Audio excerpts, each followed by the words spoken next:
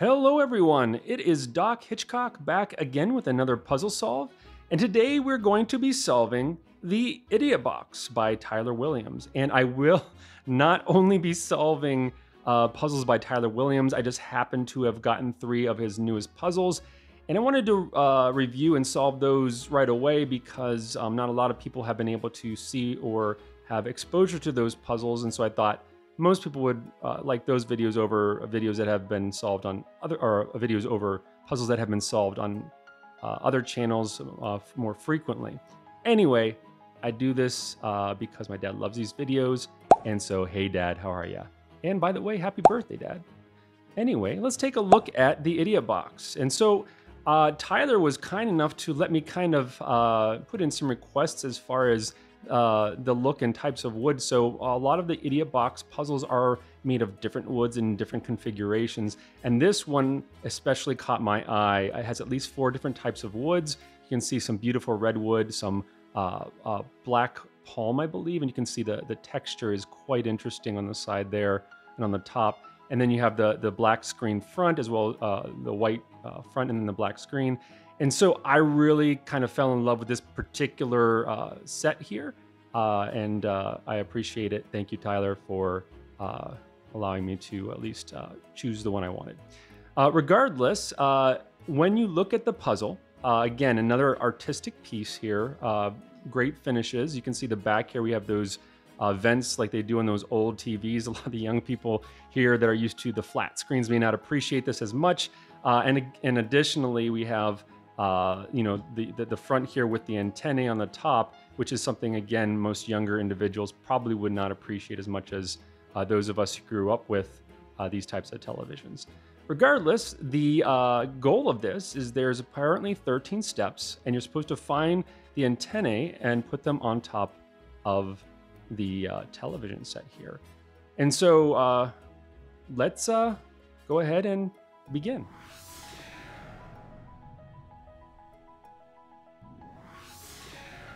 All right, so first thing that I like to do with Tyler's puzzles is look around a bit, and he, he tends to have these, these buttons here uh, on his that a lot of times have either springs or are led by or are held in place by magnets. Uh, and so then I, I look around and you can see there's several places, at least two here with those springs. And you have here, the screen is also slightly, um, you know, spring loaded and you can feel a little bit of a give there. Uh, and then that's really about it. You see these holes here, uh, as well as a hole there, and then an extra hole right here. And then you, of course, have these two holes here that I'm assuming is where the antenna go uh, to solve the puzzle.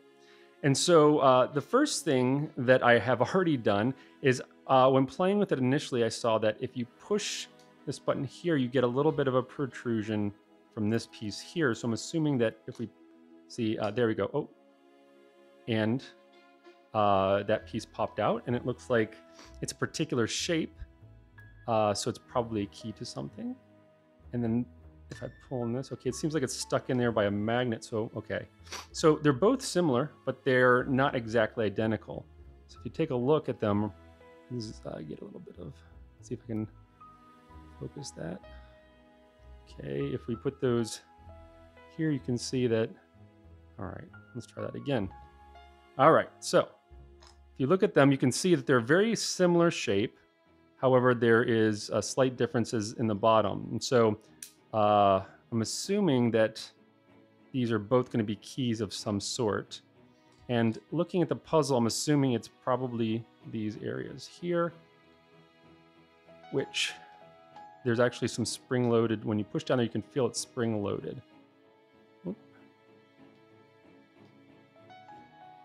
So when I push them both down though, it doesn't seem to do anything. Okay, so I'm not sure it's possible. You can see there's, if you look really close, you can see there's a spring right there. I'm not sure if I can, there's a spring right there. So I'm wondering if there's some sort of mechanism uh, down here that does something. Uh, but don't seem to be able to do anything, so let's try this middle one here. Okay, so when I just took this sharp part here and put it down into this thing here, I could feel the back panel release a little bit. Uh, but it didn't really re come out or anything. Oh, see, did you hear that? You could also hear a little pop, so I'm wondering... But it's not really doing anything. So, see that? I can keep doing that. Maybe you got to do both at the same time. See, there was another pop there. I can't really do them all because there's only two. Oh, see? That little piece there was stuck. Hmm, let me try that again. You see, that, that one's down. If you look there, there's a little piece of wood that's down. That one popped back up, so they're spring-loaded. Oh, see? And then I pushed that in, and that one popped back up. So, hmm. Well, okay, so if I push them down again, see, that one stayed stuck down. Okay, so obviously the panel comes out, and something to do with these buttons allows it to come out. But when I push both of them down at the same time, the panel does not come out, unless I need to like pry it out or something. That's going to be kind of hard if you need three hands. Uh, right, so now, and it's not automatic that these buttons stay down. Hmm. Okay. I'll try that again with the, uh... okay, you can hear that makes a sound, so maybe, maybe uh, push down with this one, and then this one in the middle. Okay, so see that one's down now. So maybe if I keep that down and go to this one. no. Okay. So I am missing something. So perhaps perhaps there's another tool that goes in that one while I'm pushing these two down. That I'm not saying, oh, look at that. You can actually see all the way through where those two pieces were, so they were kind of snug in there. And so, question is, okay, so right, so this is where they came out of, those two pieces. So this hole was already there and vacant, and it looks like I could probably fit one of these in there uh, in some way. All right, so that one fits in there like that. See if I can push it in. Nope. Okay. See, there's a little bit of a slant there, so is it this way? No. Okay, see if I put it in this way. Nope. What if I Let's see if I can just put it in different ways. see if it actually fits in one of these ways. Maybe this one? I mean, they're pretty much the same. Okay, no. All right, so nothing's happened. I can't really do anything with that. Maybe I need to push these down and then I'll put, I can put this in there. Hmm. Okay, well that was a, was a thought. Hmm. One more time.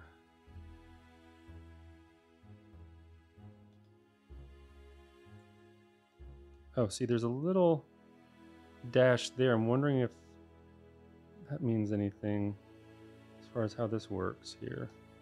Oh, look at that. So when I stick that in there, it raises it up a little bit. So maybe I just need to push. I don't know. I'm scared to push because I'm afraid to chip these pieces.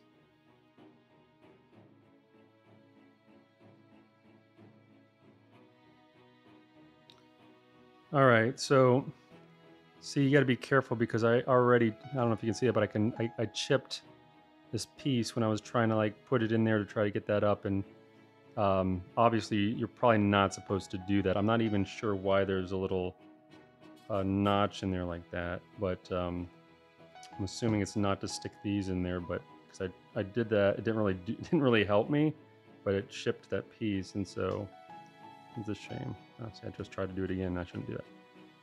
All right. Well, obviously there's some way that that works there. And so I'm wondering if it's like, uh, you gotta maybe put or choose the right tool or uh, maybe one of these back like that and then do it. Nope.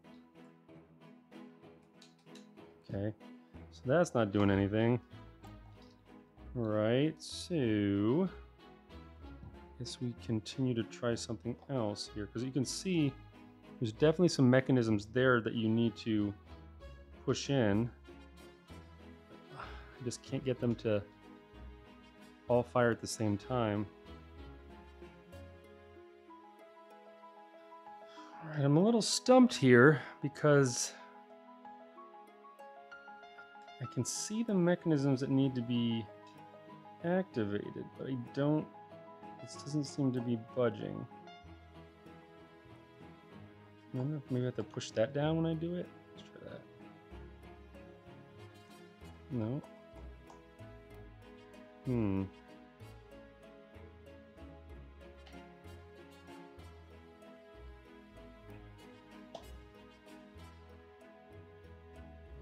Do anything? It gets that stuck.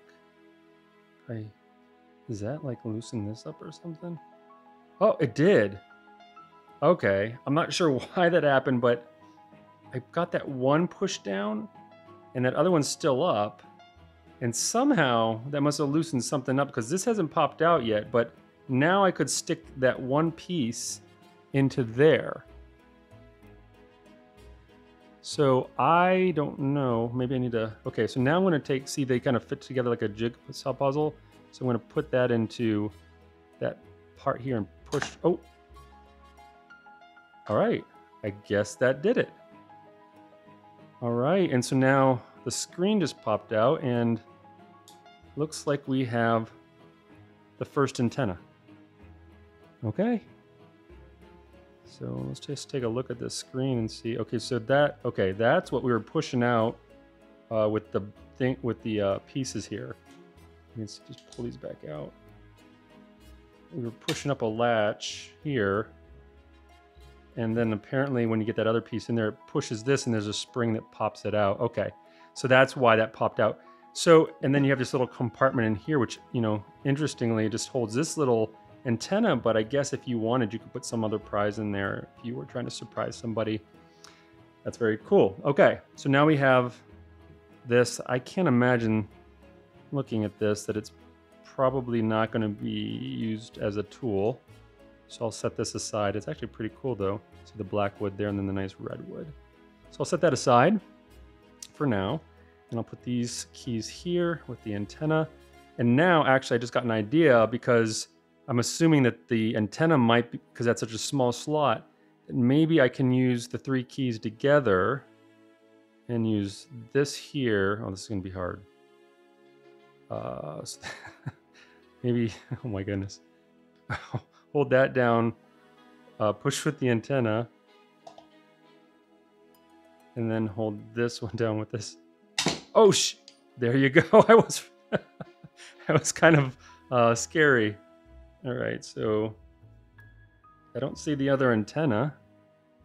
And was that 13 steps? Let's see. No, I guess it wasn't. So I guess I shouldn't see the antenna yet. But how would I? The antenna. Okay, so maybe there's a. Oh, and there it is. Okay, so there was. I don't know where that came from. But there's a little ball bearing that fell out of this. Maybe it was in that hole there.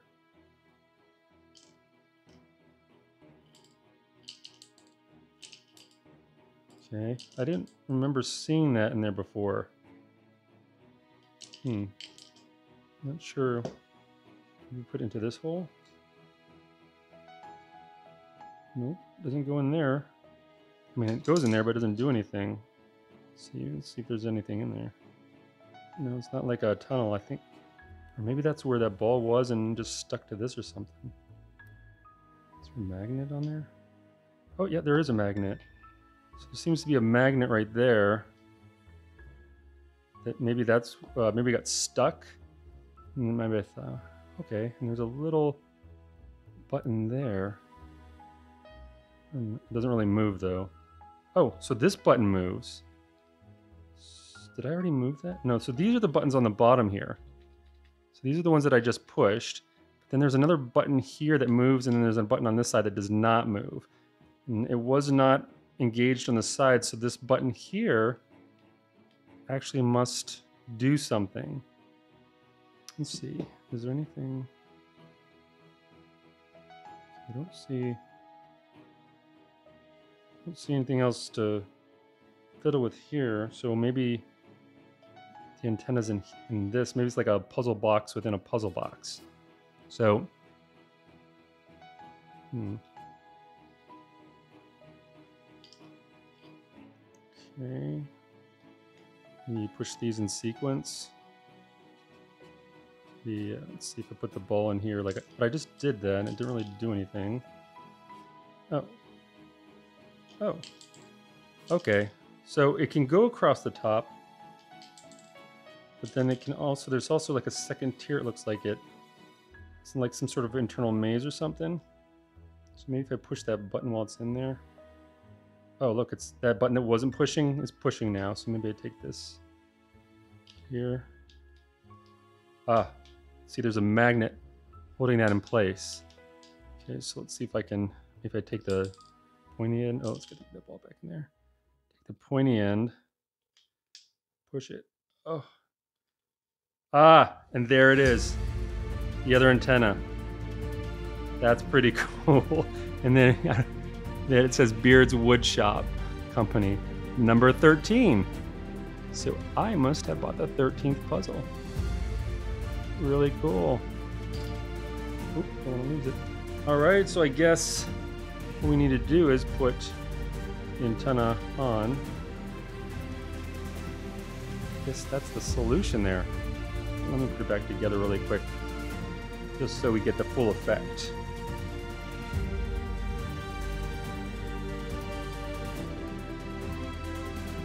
Anyway, and there is the finished solution for the Idiot Box. All right. So there you go. That is the Idiot Box by Tyler Williams at Beard's Woodshop Company. Um, another great puzzle. It was a fun solve the whole way through.